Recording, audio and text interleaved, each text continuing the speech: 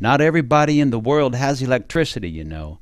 Lots of people in other countries and also in many Spanish speaking countries don't have electricity at all, at least in parts of the countries, or they have it for part of the day, but not all day long. They may have to take baths at a certain part of the day when they can heat up the water, or they may have to do their cooking while the electricity is available during, oh, several hours of the day. As you go through this two part series, let's see how you feel about the grandson and the grandpa that I interview. Notice the difference between their needs for electricity. And be patient as I show you something interesting about words. I want to take my time and make it hard for you to forget.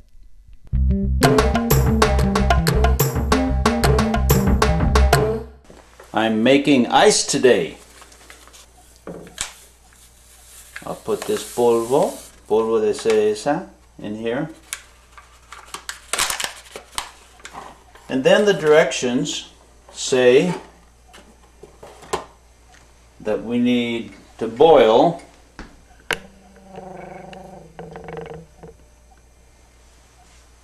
dos tazas de agua. I've already got una taza de agua in the olla. And then into the olla I pour otra taza de agua. We're going to let that boil. Strange, huh? We're going to make ice by boiling this agua.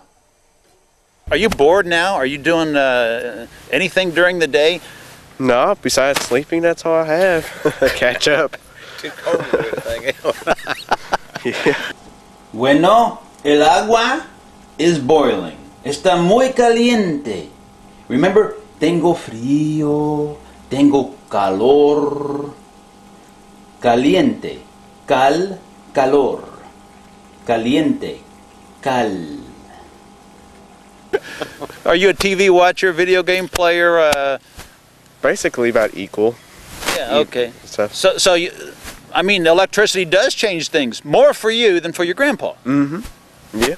Yeah. Are you bored, sir? No. And pour el agua caliente in here and all that cherry powder turns the agua roja. Did you have uh, electricity when you were a kid? No, we didn't ask for electricity to come through this part of the country. This is going to make some great ice. We just have to be patient. Now the directions say I'm supposed to add two cups of cold water. Well, that'll put us in the right direction if we're making ice.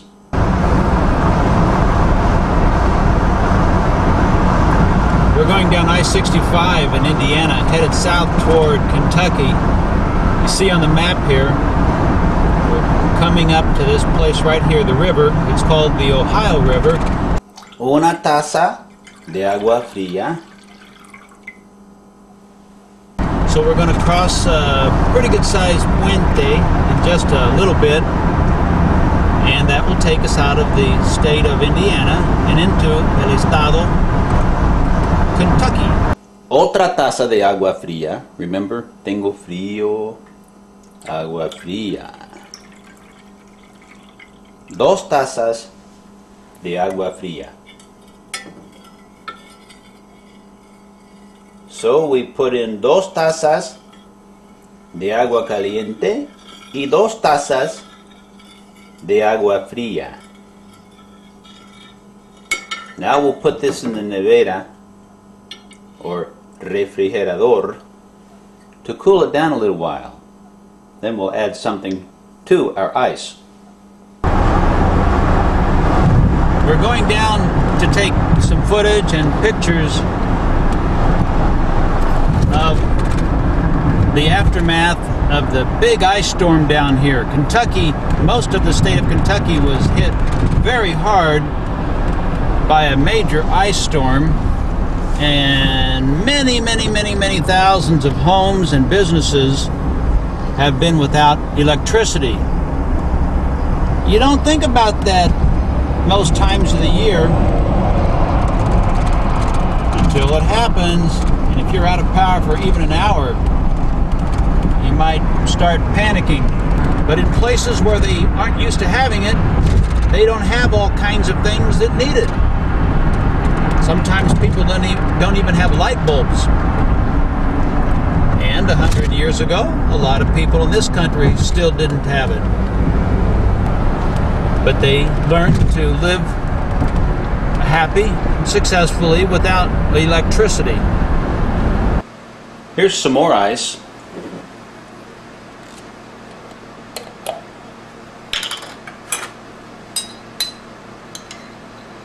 Here's some more ice.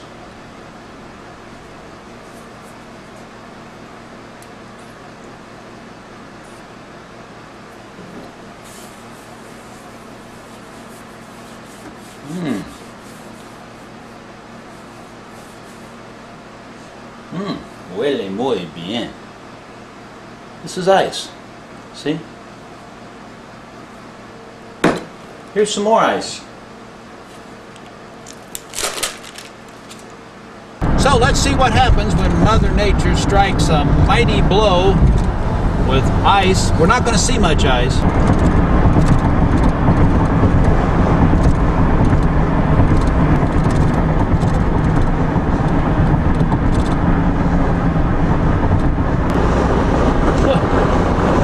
Strange looking. So we're coming into Leitchfield finally on the Western Kentucky Parkway. And all along the way, we've been seeing trees that have been knocked down.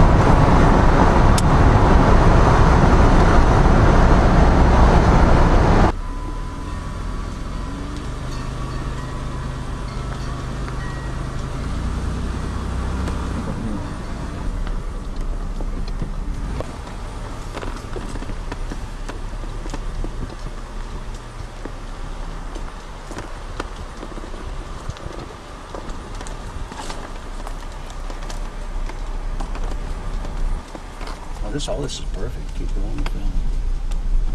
Árboles por todas partes. Look at the árbol up there. Some of the some of the ramas on top of this wire. More than one power line up there. Well, that's why we're kind of scoping it out right now, right?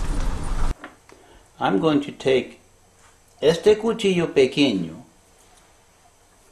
and let these slices fall in.